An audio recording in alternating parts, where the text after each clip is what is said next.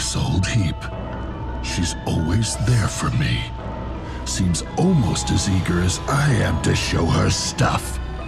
Show everyone what a great team we are. Besides all that, she still makes the best ice cream around. Not a lot of people know that. Guess most people never bother to ask.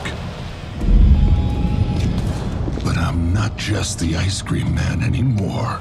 And if Calypso or anyone else wonders what I can do on my own, I'm gonna answer them now. I'm going to show everyone what happens when Sweet Tooth gets out of the truck. Such sweet, cold perfection, a round ball of heaven balanced on a delicate cone, so pleasing to the senses. Who doesn't love an ice cream cone? Pretty neat trick there, pal. Let's see if I can match it.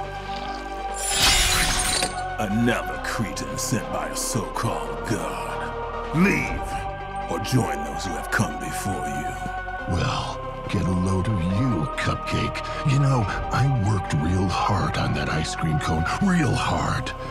Dunno if you got any money in that skirt of yours, but one way or the other, you're paying for it.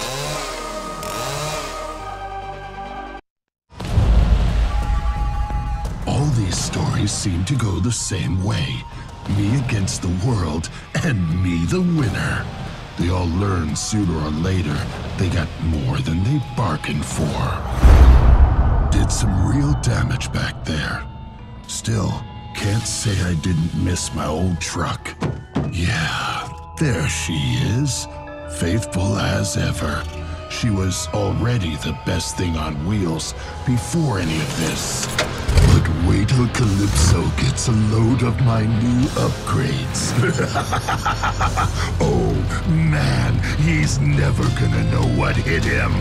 Sweet Tooth is back, baby. Bigger than ever. Ha ha ha ha ha ha ha ha!